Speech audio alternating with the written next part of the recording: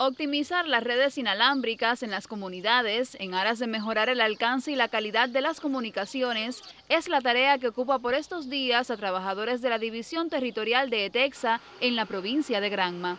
Ubicada en las periferias de la ciudad de Bayamo y con una población de más de 4.000 habitantes, la comunidad del Dátil es una de las beneficiadas.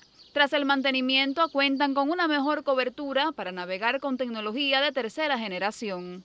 Se aprovecharon recursos de radiobases cercanas para eh, extender los servicios de la telefonía móvil a esta localidad. Básicamente lo que hicimos con los propios recursos existentes en la provincia, que en este momento no podemos decir que son los ideales, pero que sí vienen a resolver con bastante dignidad la problemática de esta localidad. Hasta la fecha, los comunitarios recibían los servicios de telefonía básica, el nautogar y un punto de acceso Wi-Fi. En lo adelante podrán disfrutar de estas bondades del Internet por datos móviles con una mayor velocidad de conexión. Para los que no teníamos wifi, ahora con esta nueva antena que mejora los datos móviles, es mucho más cómodo para todos nosotros, desde la casa, desde la cama, desde el parque.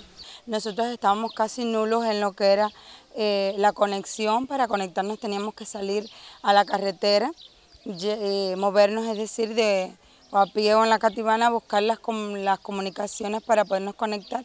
Hoy en día gozamos de que desde nuestro hogar, nuestra cama, nuestro, nuestra sala, podemos comunicarnos con el resto del mundo.